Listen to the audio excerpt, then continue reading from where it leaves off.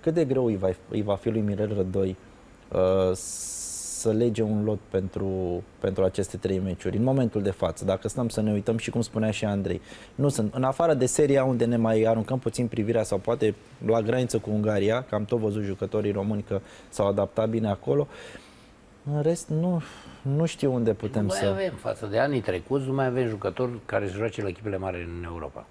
Nu mai avem. Și Stanciu care joacă în Champions League.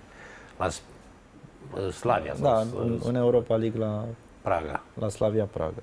Deci restul spune... Ianis la Rangers și bine, băieții Păi da, dar joacă Europa League, nu joacă Champions League. Noi vorbim da, de da, Champions. Da. Înainte aveai o grămadă de jucători și altfel veneau, veneau uh, la echipa națională.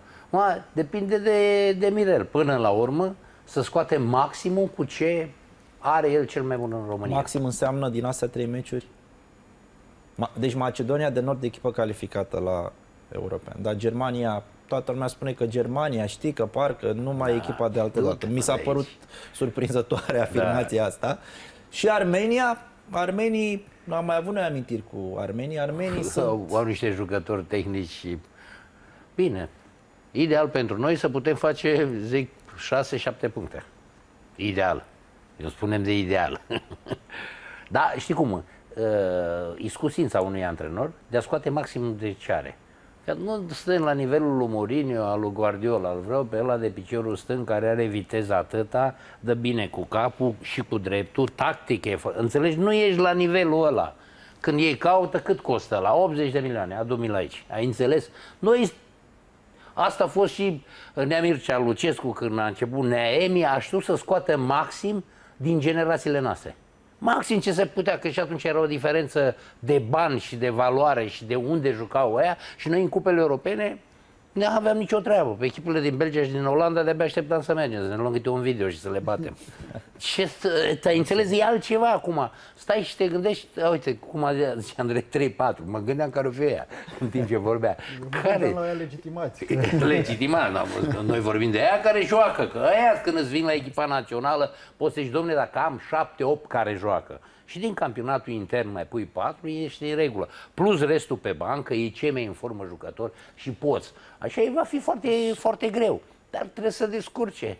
Că generații din ce în ce, generațiile s-au dus mai jos. Adică, degeaba, uite, Man și cu, zici, domne, pui doi care sunt rezervă la penultima clasată în Italia titulari contra Germaniei?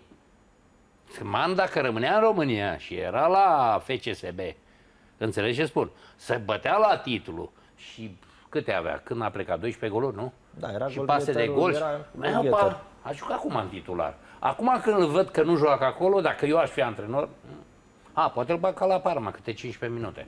Ai înțeles? Mm-hmm.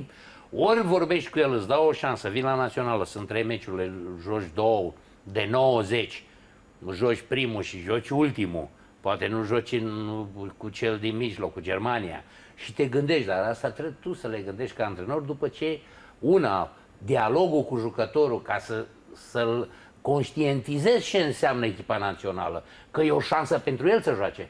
Pentru că acolo la echipare club nu joacă.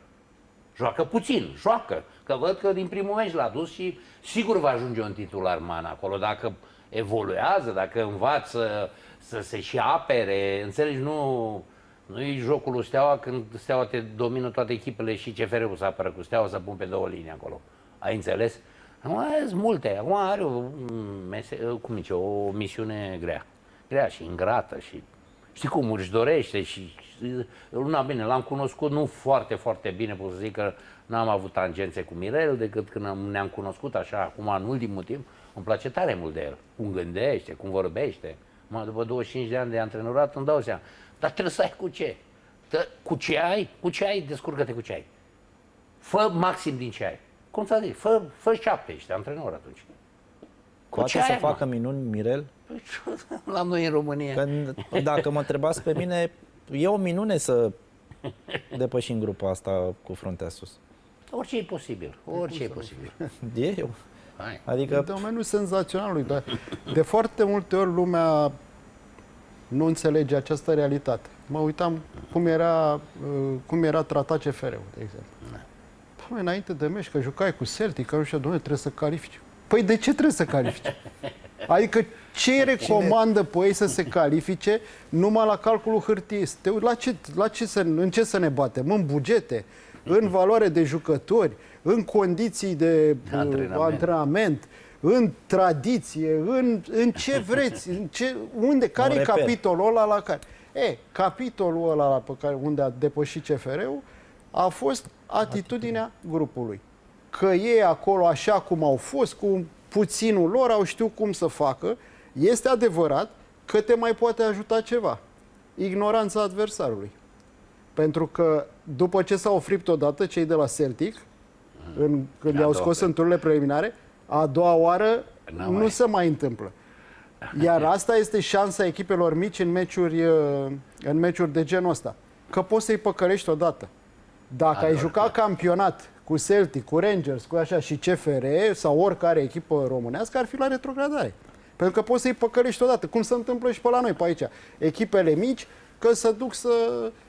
Uite, că e Andu aici. Voluntariu cu CFR-ul. I-au păcălit. Au făcut 0-0, da, da, da. da? Cu Râmniceanu, care a prins o zi senzațională, da. i-au păcălit. Și a venit următorul meci cu FCR și au mâncat bătaie. E, asta, asta este. Nu știu dacă uh, oamenii pot înțelege inclusiv la echipa națională. E greu de înțeles. Când ești contemporan cu o grămadă de performanțe, cu niște jucători mari, ca And, iarăși, că îl dau exemplu că e aici, care ne-au bucurat, care ne-au dus la turnee finale, care, cu, care au, cu ei în echipă au bătut super echipe. E greu să accepti în momentul ăsta cine ești. E greu să accepti că din cauza faptului că nu s-a făcut nimic după ce ei s-au retras, ai ajuns în situația asta. Și e greu să ai răbdare să aștepți să crească niște generații. Dar în același timp, n-ar trebui să fie greu să fii realist și să vezi ce fond de jucători avem noi în momentul ăsta, da?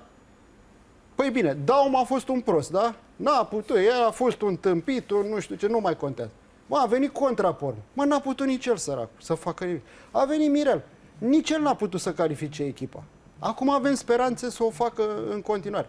Dar oare nu se pune un semn de, de întrebare dacă există în momentul ăsta un fond de jucători care să ne permită să ne gândim la așa ceva?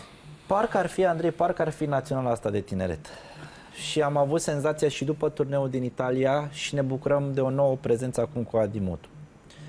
Întotdeauna am avut așa optimismul valului tânăr, dar odată cu trecerea către prima echipă și se dar pregătește și ei. treci în grup. Poți să treci vârfurile 3 sau 4 pe posturile deficitare. Nu poți și nu. Trecerea asta trebuie să o faci în câțiva ani de zile, în care să n-ai presiunea rezultatului. Da, domnule, nu ne calificăm, adică, dar nu pui, vedem numai defectele. Înțelegi? Deci noi când analizăm, vezi numai defectele, analizați meciul, doamne, ăla a greșit, ăla aia, nu știe să stea în teren, nu sare la cap, nu știe să ducă în presiune de întâmpinare, nu știu, îi găsești, înțelegi? În loc să le vezi calitățile și unde sunt. Și să încerci încet, încet să îi ridici. Că generația care a avut o Mirel la tineret, aia ar, ar fi trebuit în 3-4 ani nu anul care vine deja titular. Ia joacă cu Așa generația fost, aia uh... și să vezi și să vezi ce bătăi ei de nu mai ești pe stradă. Așa a fost în, la momentul respectiv gândit. Am, am făcut un turneu foarte bun da. în Italia cu să vezi băieții ăștia o să ajungă la prima repre... Și au fost multe discuții legate de aspectul ăsta. De ce nu sunt convocați? De ce se plimbă de la echipa națională de tineri la prima reprezentativă? Adică da. o presiune pe care prin intermediul mass media uh, da. au resimțit-o exact, și unii și alții. Trebuie să fim realiști. Ce avem și deci, ce putem. E important că prin două calificări succesive la Campionatul European de Tineret, cred că s-a creat o bază de jucători, un bazin de fapt de jucători cu vârste născuți între 1996 și 1999, adică sunt patru ani Uh, care ar putea să formeze o echipă națională a României bună într-un viitor uh, apropiat. Stau să mă gândesc și am mai spus-o aici la emisiune. Generația de aur cu care ne mândrim toți, de, cu care am fost împreună da, în 94 la campionatul mondial, uh, dacă te uiți pe anii de naștere, vei vedea că majoritatea jucătorilor erau născuți între 1967 și 1970. cu puține excepții. Dinainte, gen Belo, uh, Gică Hagi, sau după, gen... Uh, 65 uh, Gică și 64 și Belo. 64 Belo. Și da. puțin după, cum era Răducioiu 70, uh, uh, Dumnezeu ierte Didier Prodan, cred că era 72, născut, da? Dar grosul erau 67, 68. Alea erau. Dacă îi pe toți, Gică Popescu, Dorinel Munteanu, Ilie Dumitrescu, ianuarie 69, toți, toți. toți sunt acolo. Toni Doboș. Înțelegi ce vreau să spun? E, mie îmi pare că seamănă, cel puțin din punctul ăsta de vedere, generație pe 4 ani, cum a fost aceea, cu generație pe 4 ani de acum. 96, 99. Lângă care mai adaugi din spate că mai ai niște jucători care ți-au demonstrat la echipele lor de club și inclusiv la echipa națională că pot fi jucători încă în circuitul echipei naționale, plus jucătorii care vin pentru că vor veni excepțiile și de dincolo și s-ar putea să nu fie numai excepții. Pentru că dacă vorbim de anul 2000, deja l avem pe Mihailă la Parma, dacă vorbim de anul 2002, deja l avem pe Drăgușin la, la Juventus Torino, l avem pe Cârjan la Arsenal, și o să vedeți și generația din 2003 și 2004 că vor mai avea câteva vârfuri de genul ăsta. Iară sunt generații bune, 2002 o generație bună, Luis Munteanu e deja la Fiorentina din, din generația asta.